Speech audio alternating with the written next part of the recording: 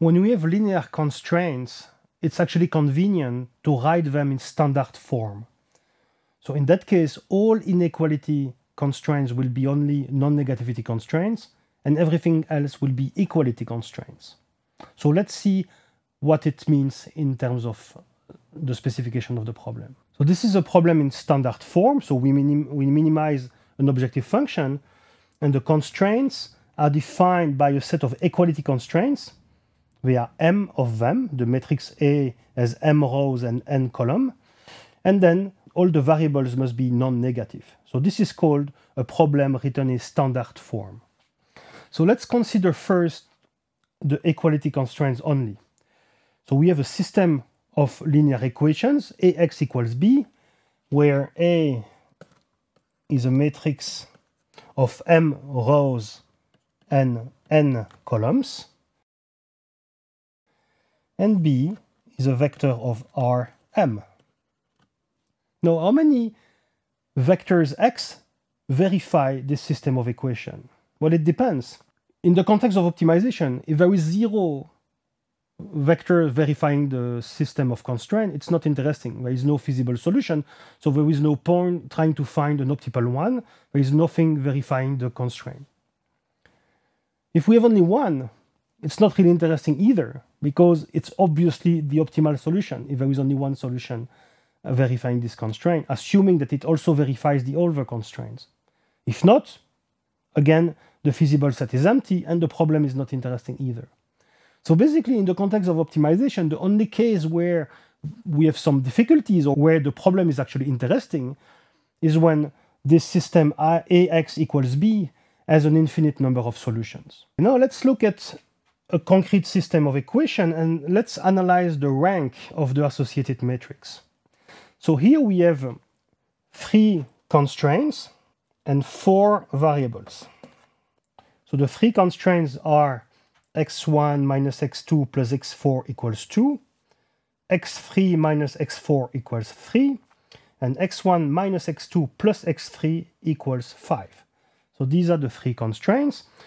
So the matrix A is a 3 by 4 matrix that contains the coefficients of these constraints as represented here. So the first constraint has a 1 at the first column, a minus 1 at the second column, a 0 at the third column because x3 is not involved in the in the in the constraint, and it has uh, a 1 at column 4 because of x4.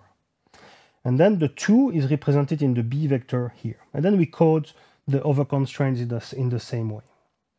Actually, if you calculate the rank of this matrix, you see that the rank is 2, although it has three rows. So in the context of linear algebra, we are saying that there is a rank deficiency. The rank is strictly lower than the number of, of rows. What does it mean? Well, in the context of optimization, it means that one of the constraint is actually redundant.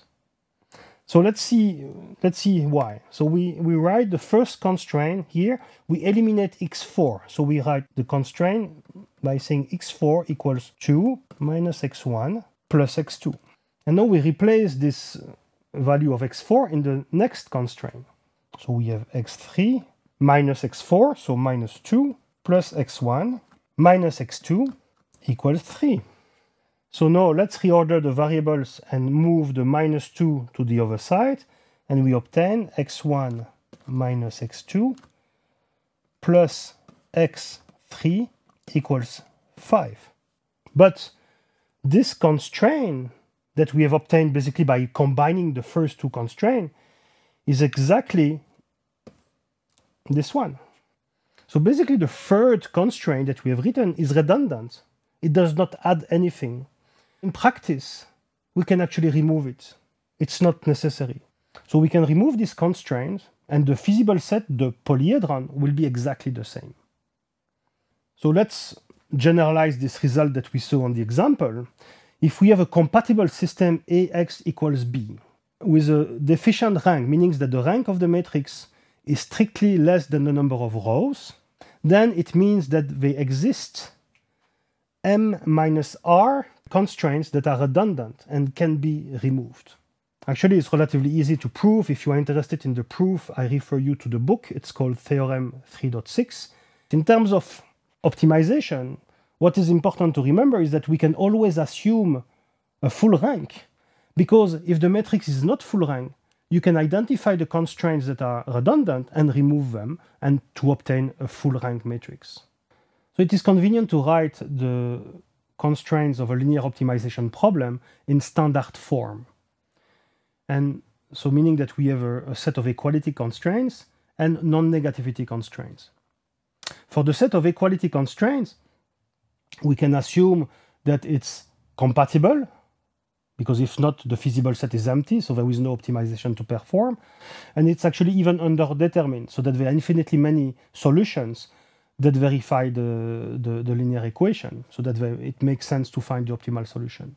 We can also assume it's of full rank, because if it is not the case, there are some constraints that can be removed, and the remaining matrix would be of full rank.